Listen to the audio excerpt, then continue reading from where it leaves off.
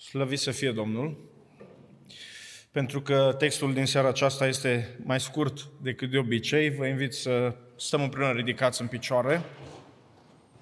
Deschidem Sfânta Scriptură la Ezechiel, capitolul 28 și vom citi a doua parte a acestui capitol, anume începând de la versetul 20. Cuvântul Domnului mi-a vorbit astfel – Fiul omului, întoarceți fața spre Sidon și prorocește împotriva lui. Spune, așa vorbește Domnul Dumnezeu, iată că am necaz pe tine, Sidonule, și voi fi proslăvit în mijlocul tău, ca să se știe că eu sunt Domnul când îmi voi împlini judecățile împotriva lui și când îmi voi arăta sfințenia în mijlocul lui. Voi trimite ciuma în el voi face să curgă sângele pe ulițele lui, vor cădea morții în mijlocul lui, uciși de sabia care va veni din toate părțile ca să-i lovească și vor ști astfel că eu sunt Domnul. Atunci, el nu va mai fi pentru casa lui Israel un spin care înțeapă, un mărăcine aducător de dureri printre cei ce îl înconjoară și îl disprețuiesc. Și vor ști astfel că eu sunt Domnul. Așa vorbește Domnul Dumnezeu. Când voi strânge iarăși casa lui Israel din mijlocul popoarelor la care este risipită, îmi voi arăta în ea sfințenia înaintea neamurilor și vor locui în țara lor pe care am dat-o robului meu Iacov. Vor locui liniștiți în ea vor zidi case și vor sădi vii. Da, vor locui liniștiți în ea când îmi voi împlini judecățile împotriva tuturor celor ce îi înconjoară și îi disprețuiesc. Și vor ști că eu sunt Domnul Dumnezeul lor. Amin. Vă rog să reocupați locurile dumneavoastră. Prorociile lui Ezechiel împotriva națiunilor se întind pe durata a opt capitole, începând din capitolul 25 până în capitolul 32 al cărții lui. Aceste prorocii împotriva națiunilor străine pot fi împărțite în două.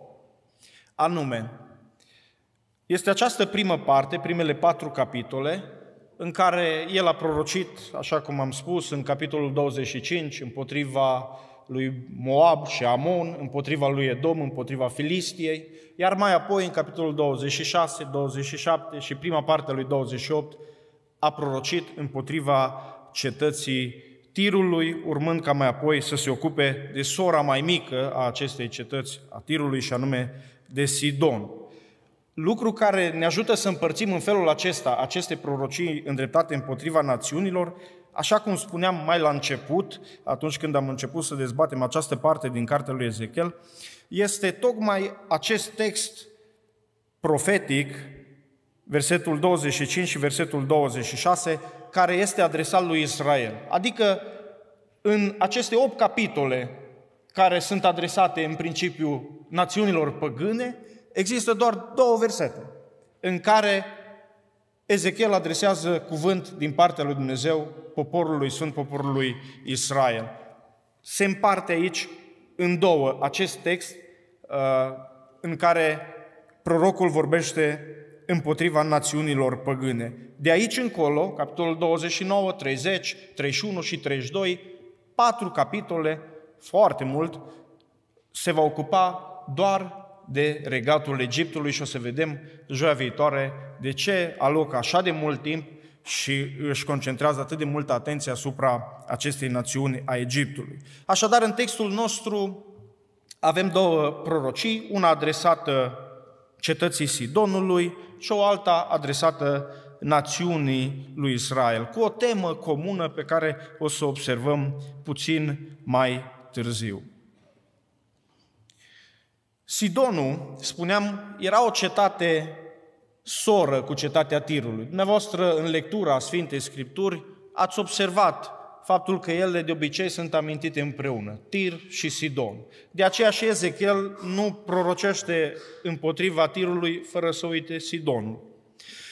Sidonul a fost și ea, această cetate, implicată în revolta lui Zedechia sau în tentativa de revoltă uh, a lui Zedechia pentru că ea a eșuat, în sensul că Zedechia a rămas singur și expus Babilonului cei care ar fi trebuit să-l susțină, cu care ei s-a, el s-a întâlnit în Ierusalim pentru a face coaliție, l-au abandonat. Însă, acolo, în Ieremia, în capitolul 23, cu versetul 3, în lista națiunilor care au fost la acea conferință pe care Zedechia probabil a convocat-o, este amintită și această cetate a Sidonului.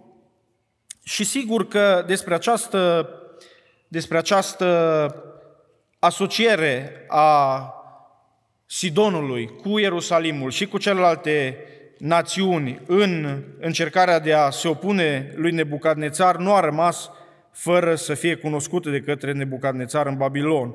Versetul 3 din Ieremia 27 spune cuvântul Domnului prin prorocul Ieremia, trimite legăturile și jugurile pe care ți le-am încredințat împăratului Edomului, Moabului, copilor lui Amon, împăratului Tirului și împăratului Sidonului.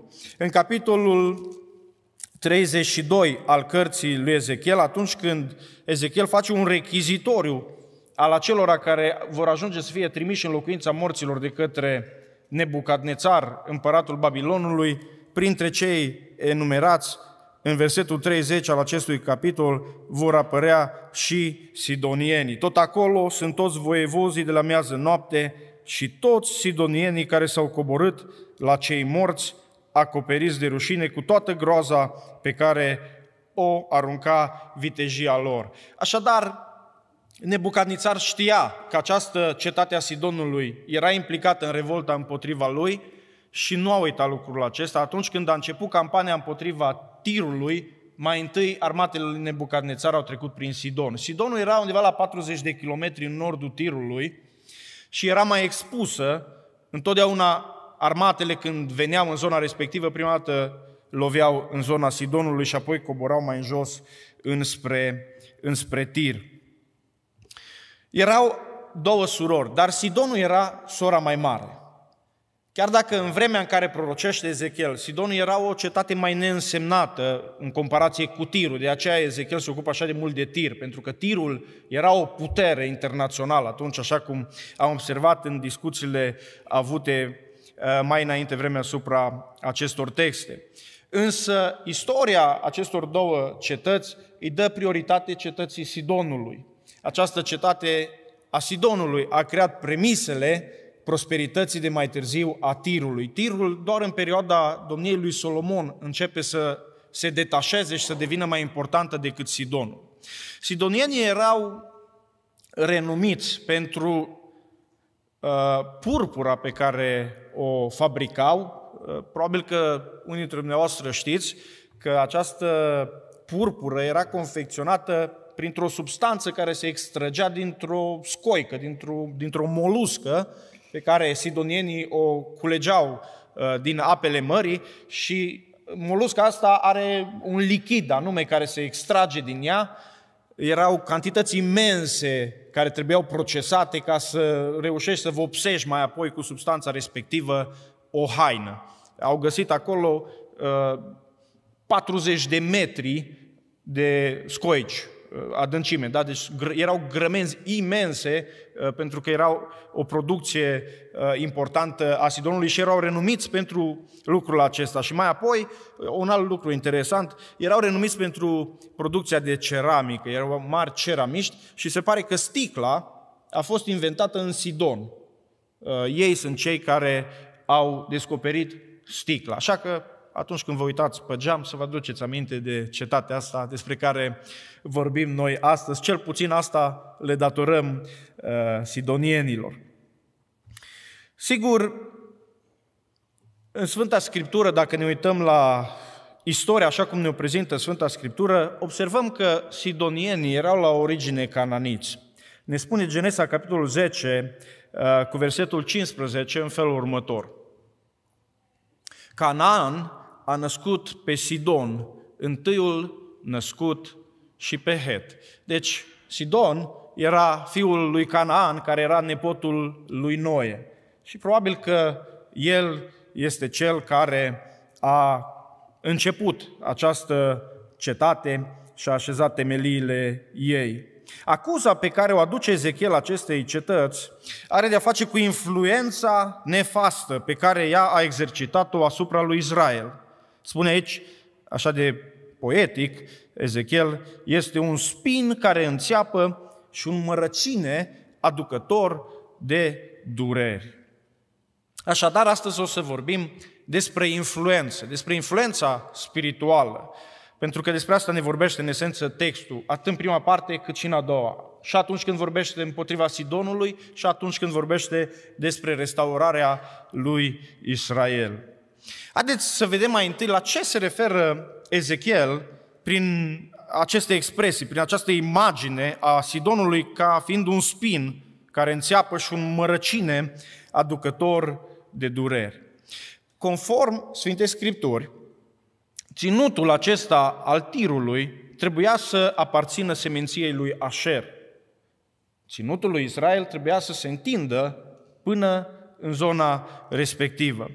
Dar găsim lucrul acesta subliniat în Iosua, capitolul 19, cu versetul 24. A cincea parte, spune aici textul, a căzut prin sorți seminției lui Asher după familiile lor se numără mai multe localități care erau granița hotarului lui Asher, care trebuiau să ajungă sub stăpânirea lui și versetul 28 ne spune că ținutul lui trebuia să se întindă până la Sidonul cel mare. Lucrul acesta însă nu s-a întâmplat. Judecător, capitolul 1, cu versetul 31, ne spune în felul următor. Nici Asher n-a izgonit pe locuitorii din Aco, nici pe locuitorii din Sidon. Nu au împlinit această poruncă pe care o primiseră din partea lui Dumnezeu și n-au intrat în stăpânirea acestor teritorii. De aceea Dumnezeu a rostit o sentință. Și spune cuvântul lui Dumnezeu în judecător capitolul 2 cu versetul 1 până la versetul 5 în felul următor. Îngerul Domnului s-a suit din Gilgal la Bochim și a zis, Vorbea întregii națiuni, pentru că și alte seminții din Israel aveau problema pe care seminția lui Asher a avut-o, și anume că nu a intrat în posesia teritoriului care le fusese încredințat. Eu v-am scos din Egipt și v-am adus în țara pe care am jurat părinților voștri că vă voi da. Am zis, niciodată nu voi rupe legământul meu cu voi. Și voi nu vă încheiați legământ cu locuitorii din țara aceasta, ci să le surpați altarele. Dar voi n-ați ascultat de glasul meu pentru ce ați făcut lucrul acesta. Am zis atunci, nu-i voi izgoni dinaintea voastră, ci vă vor sta în coaste și Dumnezeilor vă vor fi o cursă. După ce a spus îngerul Domnului aceste vorbe tuturor copiilor lui Israel, poporul a ridicat glasul și a plâns. A pus locului acelui numele Bochim, cei ce plâng. În alte locuri, Uh, din uh, Scriptură, tot în cartea Iosua sau în cartea Numeri, li se spune explicit că le vor sta ca un spin în coastă. De acolo ia Ezechiel această imagine și o așează în dreptul Sidonului. Nu doar Sidonul a fost un spin și un mărăcine, și celelalte națiuni din jur, toate împreună, au fost lucrul acesta pentru poporul lui Israel. Ceea ce presupunea lucrul acesta era, așa cum ziceam adinoaur, influența pe care ele au avut-o din punct de vedere spiritual asupra lui Israel. N-a trecut mult timp de la acea sentință rostită prin Îngerul Domnului și în judecător, capitolul 10, cu versetul 6, consemnează Scriptura faptul că copiii lui Israel au făcut iarăși ce nu plăcea Domnului. Au slujit balilor și astarteelor, Dumnezeilor Siriei și Dumnezeilor Sidonului. Și încheie cuvântul, și-au părăsit pe Domnul și nu i-au mai slujit. Sidonul era un spin și un mărăcine pentru Israel, pentru că era ca o tumoare canceroasă care își trimitea celulele pe ținutul acesta al lui Israel. Era un cancer care se întindea în națiunea lui Israel și făcea metastază în corpul acestei națiuni, care a fost aleasă de Dumnezeu să fie lumina neamurilor, să fie purtătoarea revelației, a adevărului, a mântuirii, a numelui lui Dumnezeu înaintea națiunilor. Și lucrurile au mers până la un anumit nivel în perioada aceea a judecătorilor, dar totul a escaladat în perioada monarhiei, începând cu împăratul Solomon, cel mai strălucit împărat al lui Israel, dar din păcate și împăratul care a deschis poarta idolatriei ca să intre în țara aceasta, în poporul lui Dumnezeu. Solomon și-a luat mai multe neveste, așa era cutuma vreme atunci când făceai alianțe politice, le făceai prin căsătorie. Și Solomon a făcut nebunia aceasta și a întemeiat alianțe cu majoritatea națiunilor din jurul lui în felul acesta, începând, începând cu Egiptul. De aceea vom vedea cât de mult spațiu acordă Ezechiel Egiptului.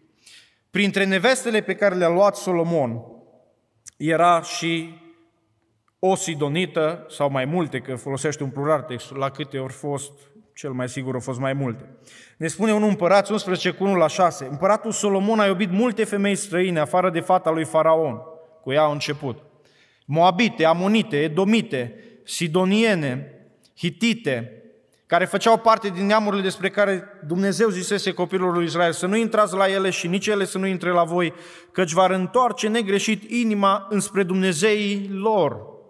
De aceste neamuri s-a lipit Solomon, târât de iubire. Versetul 4. Când a îmbătrânit Solomon, nevestele i-au plecat inima spre alți Dumnezei și inima nu i-a mai fost în totul, totul a Domnului Dumnezeului său, cum fusese inima tatălui său David. Solomon s-a dus după Astartea, zeița sidonienilor.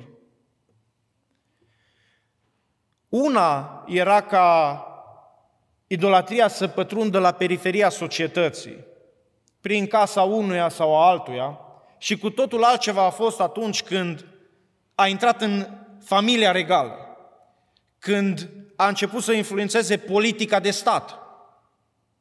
Totul a escaladat și lucrurile au început să se degradeze de sus în jos și uh, vorba aceea românilor, peștele de la cap se împute.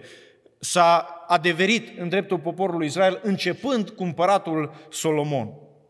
Însă dacă este un personaj care explică cel mai bine ce vrea să spună Ezechiel când zice că Sidonul a fost un spin și un mărăcine pentru Israel, acel personaj poartă numele de Izabela.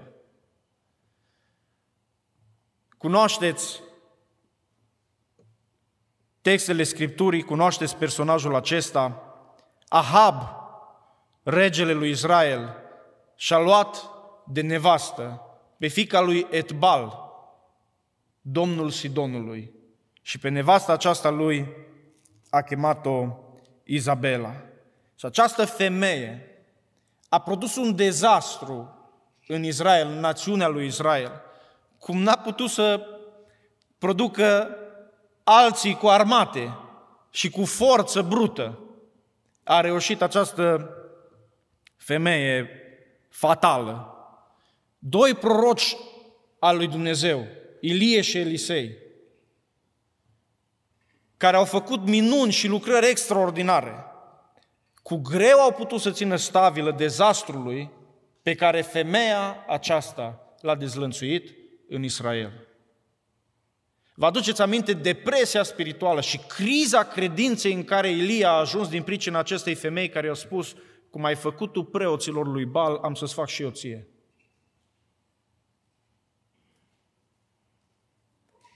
Și cu toată stabila pusă de Dumnezeu prin Ilie și Elisei, și cu forța brută folosită de Dumnezeu prin Iehu pe care l-a ridicat ca să nimicească casa lui Ahab, prin Iehu care a mers cu carul lui de războinic acolo la geamul palatului regal și spune textul că Izabela a ieșit frumos, machiată, parfumată, gătită acolo să îi facă ochi dulci la Iehu, să-și folosească ultimul cartuș în încercarea ei de a, de a uh, recâștiga domnia, puterea, influența. Și textul Bibliei ne spune că Iehu a spus, cine este cu mine? S-au găsit doi să fie cu el și l-au ajutat și Izabela a fost aruncată de pe geamul palatului și câinii au fost cei care s-au ocupat mai departe de ceea ce a rămas din ea. Dar istoria nu s-a terminat acolo. Cu dezastru din regatul de nord, că Israelul era deja împărțit, cu casa lui Ahab și cu toată nenorocirea care a venit peste casa lui Ahab din pricina Izabelei. Pentru că Izabela a avut o fată. Și fata aceea, Ahab i-a dat-o de nevastă copilului mai mare al lui Iosafat, domnul din Iuda, din sudul Israelului. Și Ioram, așa se numea fiul cel mare al lui Iosafat, a luat-o de nevastă pe Atalia, fica Izabelei. Și când tatăl său a murit, Ioram a ajuns pe tronul lui Iuda. Tai că s-o rezolvase lucrurile, le împărțise averi, funcții, responsabilități celorlalți, ne spune textul Scripturii. Nu mă duc prin toate versetele acestea, fac o sinteză. Dar Ioram, pentru că avea un sfetnic care se închina la Astartea, i-a luat pe toți frații lui și i-a omorât.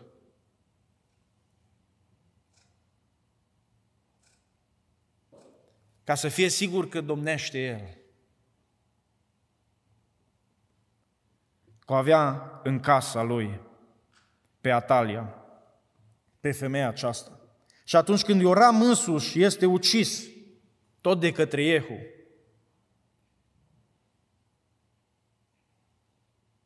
Atalia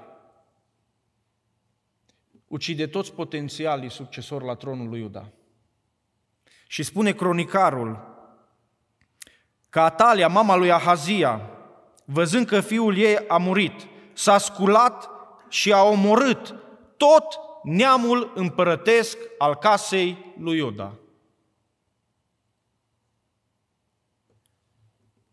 De aia am zis că nu a fost armată să producă dezastru pe care l-au produs căsătoriile acestea pe care Dumnezeu le-a interzis.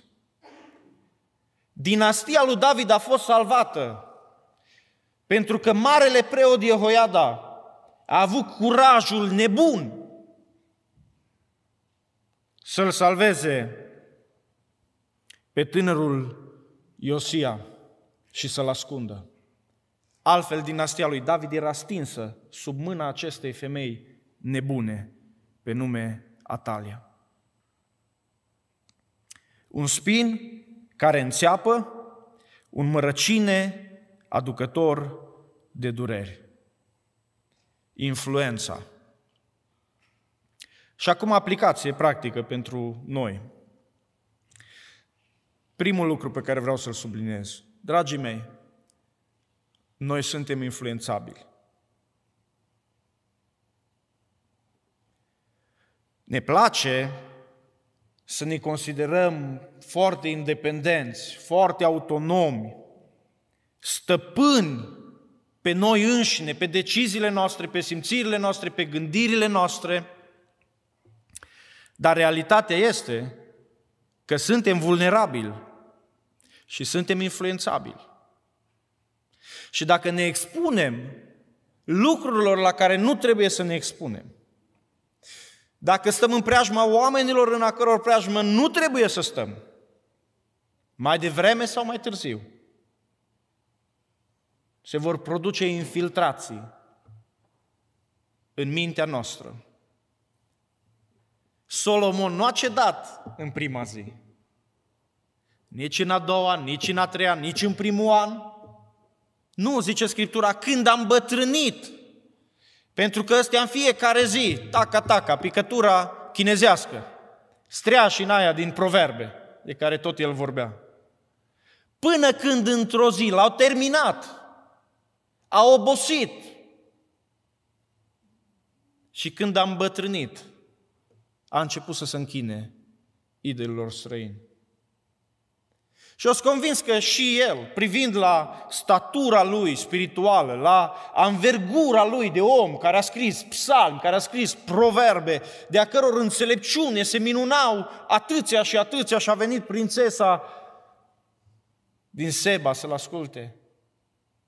O zis, mă descurc, câteva neveste, le închid acolo în zona lor de palat, important e să avem pace. A fost sigur că poate să gestioneze lucrurile.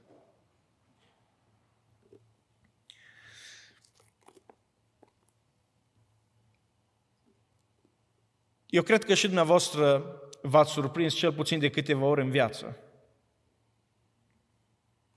Că gândiți într-un anumit fel, că aveți o anumită atitudine, că aveți o anumită perspectivă asupra lucrului, cu tare sau cu tare, pentru că cineva v-a influențat.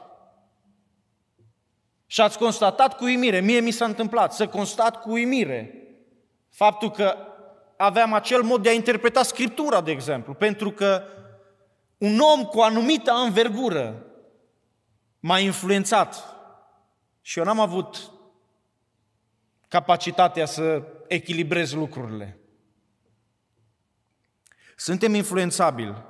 De aceea să fim atenți la ce ne expunem, că acolo e decizia noastră. Acolo avem autonomie, acolo avem independență. Când decidem la ce ne expunem. În anturajul cui pătrundem? Cu cine întreținem noi prietenii apropiate? Și cu ce scop? Și cu ce obiective? Cu cine îmi fac afacerile și devin partener de afaceri? Cu cine îmi petrec serile? Ce citesc? La ce mă uit? Eu nu fac acum apel la a ne ghetoiza, la a fi fanatici, la a, a fi obtuz. Nu! Ci la, la a fi înțelepți. Sunt lucruri care intră în categoria bine și rău și acolo e simplu, știm toți că nu trebuie să facem ceea ce nu trebuie făcut. Și sunt alte chestiuni care se află într-o altă zonă și trebuie noi să decidem în ce măsură putem să ne expunem sau nu ne expunem lucrurilor respective sau persoanelor respective. Suntem influențabili, deci, atenție mare la ce ne expunem. Și astăzi, vedeți, trăim în vremuri în care putem să intrăm în contact cu atâta mizerie, cu atâta nebunie, fără să ne ridicăm din fotoliu de acasă. E foarte simplu. Scoți telefonul și ai acolo tot ce vrei și ce nu vrei. Și trebuie așa de mult discernământ și o bătălie să fii atent la ce te expui. Sta de vorbă cu un băiat tânăr, inteligent. După trei luni de zile care s-au îndopat numai cu conferințe susținute de atei și-o citit numai literatură care contrazice existența lui Dumnezeu, încercând să se documenteze și să se lămurească cum stau lucrurile, dar alimentându-se și expunându-se strict la un anumit tip de sursă. S-a intoxicat.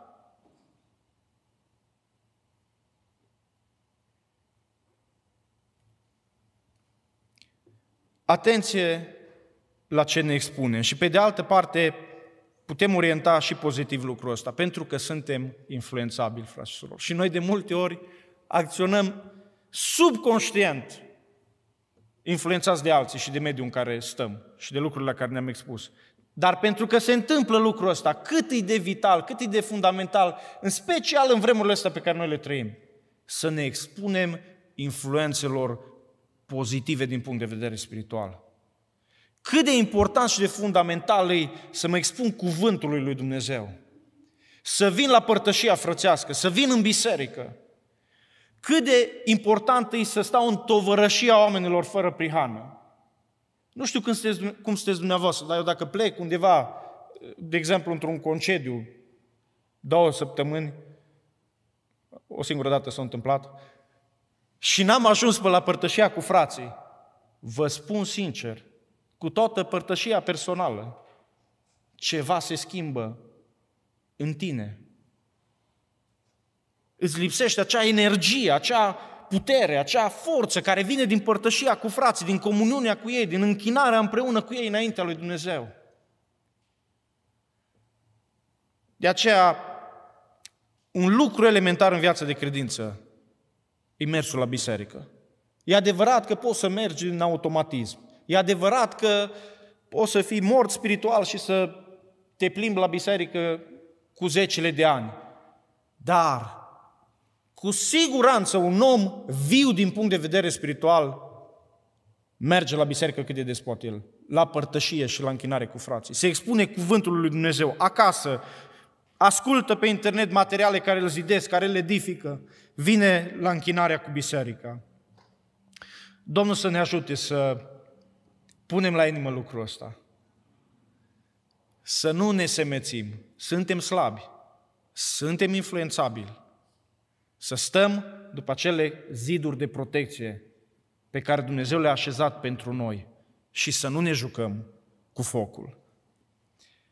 Pe de altă parte, în al doilea rând, pe lângă faptul că suntem influențabili, așa cum oamenii aceștia care au nesocotit cuvântul lui Dumnezeu, au ajuns să cadă sub influența idolilor străini, așa cum națiunea lui Israel, care intra în contact regulat cu națiunile acestea idolatre, a ajuns să fie influențată, așa suntem și noi.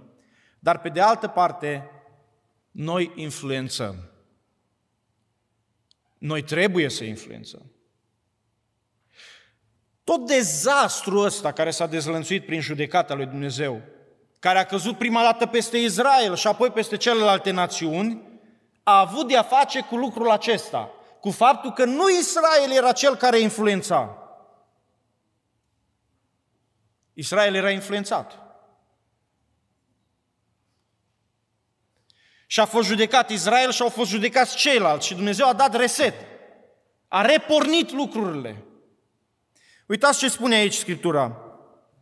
Se adresează Dumnezeu Sidonului și zice Sidonului, voi fi proslăvit în mijlocul tău.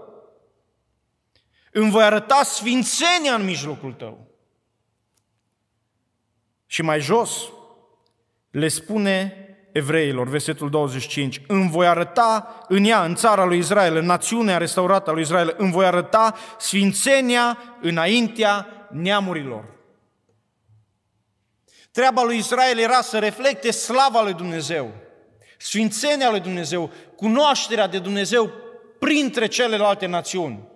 Și în schimb a ajuns să absoarbă idolatrie și să asimileze păcatul. Dragii mei, în lumea aceasta, Dumnezeu se manifestă. Își manifestă slava și sfințenia. Și Dumnezeu nu negociază statutul ăsta pe care îl are. Și noi putem să fim doar în două ipostaze. Una, aceea a Sidonului din textul nostru, căreia Dumnezeu îi spune, sunt împotriva ta și îmi voi arăta sfințenia și slava în tine, că te judec. Și prin judecată și prin pedeapsă am să-mi arăt sfințenia și slava în tine. Și cealaltă este această ipostază lui Israel, un Israel de acum curățit, smerit, purificat, pe care Dumnezeu îl restaurează, pe care Dumnezeu îl întregește, pentru a-și arăta sfințenia, pentru a-și arăta slava, pentru a se descoperi pe sine însuși națiunilor. Numai în aceste două ipostaze putem să ne aflăm. Una în care prin noi se manifestă Dumnezeu și influențăm în felul acesta pe cei din jurul nostru și cealaltă în care suntem noi influențați de răul din jurul nostru și Dumnezeu trebuie să intervină, să ne oprească, să ne salveze. Mă gândeam la faptul că influența spirituală nu are de a face în primul rând, cu ceea ce faci sau cu ceea ce spui. Știți cu ce are de a face influența spirituală? Cu ceea ce ești, în primul rând. Cu caracterul tău și cu prezența lui Dumnezeu în viața ta și a mea.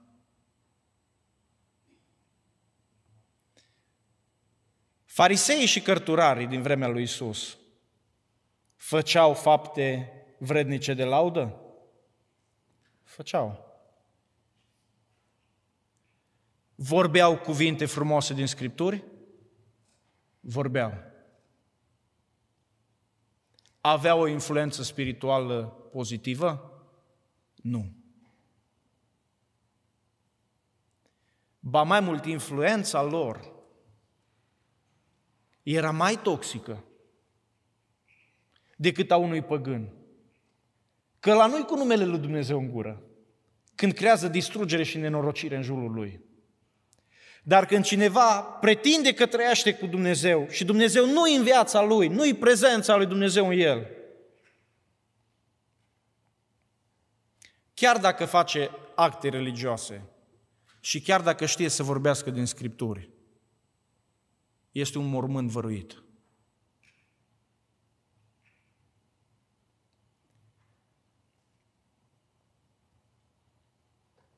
Influența spirituală are de-a face cu ceea ce suntem noi în relație cu Dumnezeu, cu prezența lui Dumnezeu în noi și cu felul în care prezența lui Dumnezeu în noi schimbă caracterul nostru. Și nu putem să nu influențăm. Nu putem să nu influențăm. Fiecare dintre noi influențăm, fie că vrem, fie că nu vrem. Facem lucrul acesta. Că unii ar putea să spună, domnule, dar eu nu zic ca Pavel, călcați pe urmele mele, că eu calc pe urmele lui Hristos. Eu sunt cu minte, stau liniștit la locul meu. Nici nu sunt în comitetul bisericii. Așa că ce influențez eu? Noi toți influențăm. Fie că ne propunem să facem asta, fie că nu ne propunem să facem asta. Aduceți aminte, în Luca 16 ajunge omul acela bogat uh, și nepocăit în chinul acela al flăcărilor și când discută cu Avram, el își aduce aminte, acolo își aduce aminte de frații lui.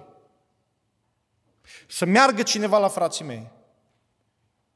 Pentru că atunci a realizat că el este o influență, pentru că, vedeți, nouă ne place să credem că suntem autonomi uneori, în sensul că nu ne influențează ușor orice și oricine, fals, dar în al doilea rând ne place să credem că suntem autonomi în sensul acesta al uh, faptului că, domnule, noi avem viața noastră. Eu am viața mea, trăiesc cum consider eu că trebuie să trăiesc. Și care e problema? Fiecare cu viața lui. Eu sunt o insulă. Nu e adevărat. Noi toți suntem conectați în casele noastre, în societate, în biserică, în slujirile noastre. Și atunci când eu nu sunt ce trebuie să fiu, în jurul meu lucrul ăsta se propagă. Și atunci când eu sunt ce trebuie să fiu, în jurul meu lucrul ăsta se propagă. E inevitabil să am influență și niciodată nu pot să știu cât de multă influență exercit. O mamă a născut opt copii. I-a crescut, i-a slujit, i-a învățat să se roage, i-a învățat să iubească cuvântul lui Dumnezeu, le-a fost o pildă de sfințenie și de credincioșie. Și doi dintre ei au fost frații Wesley.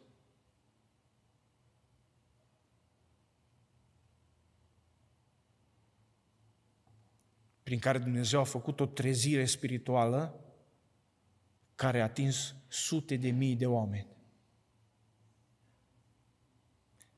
Eu cred că femeia aceea putea să meargă duminică dimineața la biserică și să spună din start că ea nu are influența păstorului. Dar dacă ne uităm acum în spate, nu poți să știi și nu poți să știu care sunt ramificațiile și ecourile ființei mele, ale trăirii mele în viețile celorlalți. Doar când o să ajungem în veșnicia lui Dumnezeu, o să vedem cum a reverberat viața noastră și câte efecte a produs trăirea noastră în viețile celorlalți. Spune cuvântul lui Dumnezeu în Cartea Evrei, capitolul 12, cu versetul 13.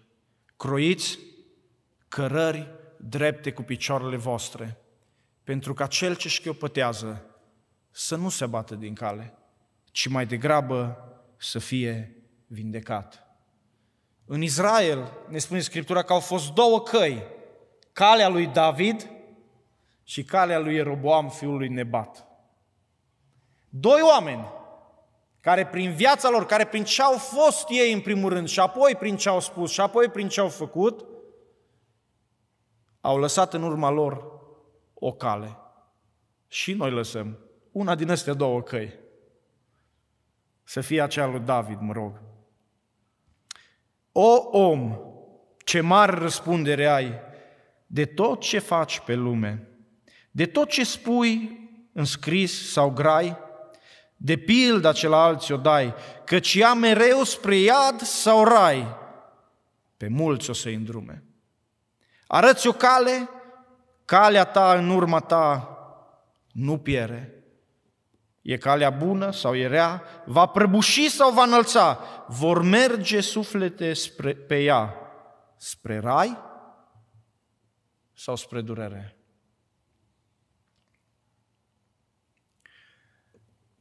Doamne, ajută-ne să fim ceea ce Tu vrei să fim. Doamne, locuiește în viața noastră. Fii prezent peste noi. Fii prezent în casele noastre. Pentru că atunci când Dumnezeu este cu noi și în noi, vom avea o influență extraordinară în viețile celorlalți. Nu poți să știi. Uneori o interacțiune de câteva secunde, de câteva minute, poate să schimbe radical viața unui om. Ascultam zilele trecute, așa, am nimerit pe un clip în care fostul președinte al Statelor Unite, care a fost și el cum era, zicea că nu a fumat și nu a băut niciodată în viața lui. Și lucrul ăsta m-a mirat, pentru că totuși un magnat, un om cu anvergura lui în lumea afacerilor, Uh, și cu viața lui, de altfel, imorală în alte zone, că nu sunt astea cele mai mari păcate care pot să fie, dar uh, a fost o, o chestiune ciudată. Cum nu am consumat? Niciodată, zicea el, n-am consumat alcool și n-am, n-am fumat niciodată.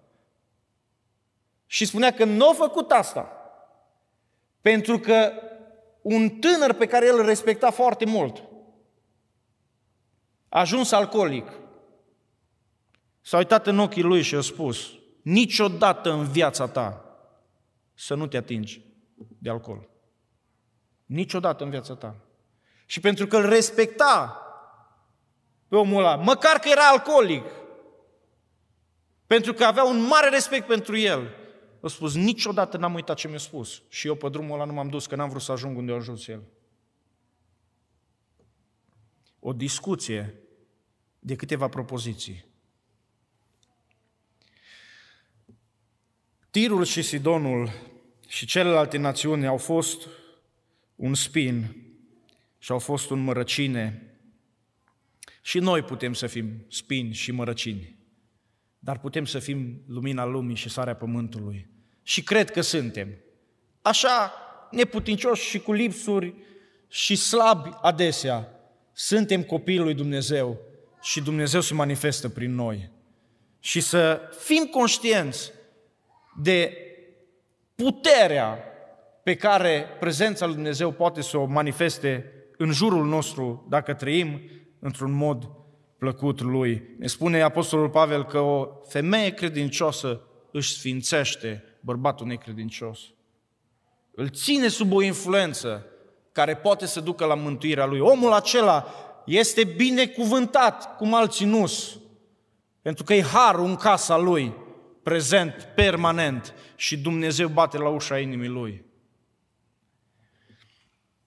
Au fost așa Tirul și Sidonul, un spin și un mărăcine. Dar îmi place așa de mult cuvântul Scripturii în ansamblu ei. Vedeți, Dumnezeu a protejat această națiune a lui Israel, a judecat-o, i-a judecat și pe ceilalți, a trecut cu tăvălugul ca să salveze națiunea aceasta. De ce? Pentru că națiunea aceasta avea lumina, avea revelația și din națiunea aceasta trebuia să se nască Mesia. Trebuia să se nască Hristos.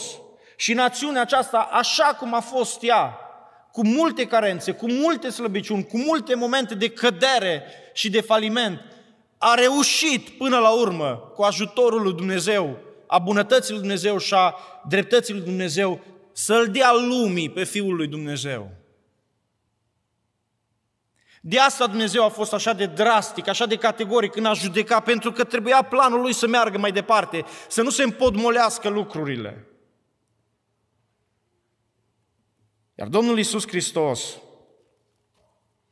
atunci când a stat de vorbă cu conaționalii lui, care cunoșteau textele acestea din Scriptură, cum Tirul și Sidonul spin și mărăcin, cum Dumnezeu a judecat și a lovit, le-a mintit un lucru.